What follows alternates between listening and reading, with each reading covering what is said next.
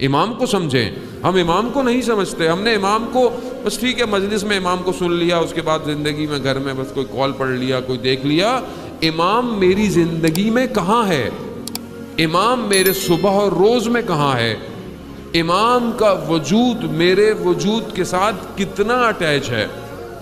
इमाम तो है, इमाम तक तो मेरे सारे मामलात पहुँचते हैं। मैंने पहले भी शायद अर्ज़ किया, अब मुश्किल सबसे बड़ी ये है। कि दो मजलिसें रोज़ाना है, कम से कम। अब ये नहीं पता चलता कौन सा वाक़ यहाँ पड़ा था कौन सा वाक़ या बोलेंगे, मौलाना साहब, आपकी इतनी भी याददाश्त नहीं है। तो यहीं से तो पता चलता है कि इंसान ज़यीफ़ कितना है। यहीं से तो पता चलता है कि मोहताज कितना है। अल्लामा तबा तबाई का वाक़ तफसीर, जिन्होंने तफसीरुल मेज़ान लिखी, इतने बड़े आलिम, इतने बड़े वक्त आया, याददाश्त भूल गए, याददाश्त भूल गए। क्यों? इसी से पता चलता है कि इंसान का वजूद, उसके वजूद का मोहताज है। मोहताज है।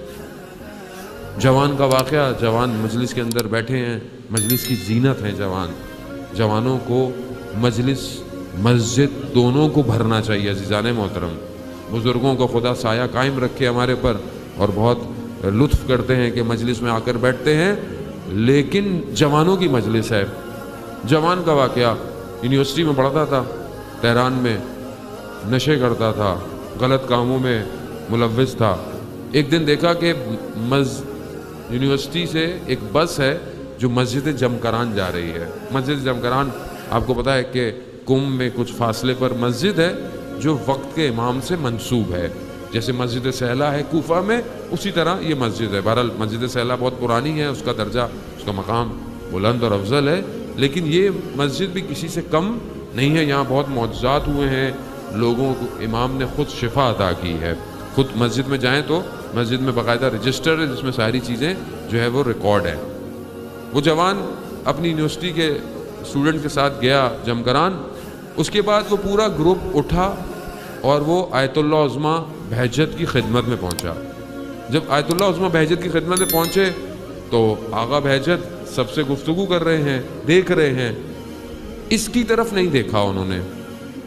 अब इसके दिल में, वजूद में ज़मीर ने बोला कि ये मेरी तरफ़ क्यों नहीं है मुतवजा ये मुझे क्यों नहीं देख रहे? बिल्कुल ऐसे ही कि आप किसी शख्सियत के पास जाएँ और वो आपकी तरफ़ ध्यान ना दे तो आपको थोड़ा सा महसूस होगा, या मेरा लिबास सही नहीं है, या कोई मसला है। इंसान अपनी तरफ़ मुतवजा ये जवान अपनी तरफ़ मुतवजा हुआ। तो इसके ज़मीर ने इसे कहा कहा कि तुम्हारे कौन से अच्छे काम हैं जो ये तुम्हें देखें? ये सुनना था अपने आप से जब इसने गुफ्तु की, इसका दिल मुनकलब हो गया। ओलिया खुदा की एक निगाह दिलों को तब्दील कर देती है। यानी उनका ना देखना इस जवान को तब्दील हो गया। ये गया इसने सारे काम छोड़ दिए? पूरा हफ़्ता कोई बुरा काम नहीं किया। अगले हफ़्ते फिर ये अपनी यूनिवर्सिटी के साथ गया और फिर जब आगा की खिदमत में पहुँचा तो सर झुकाए खड़ा था।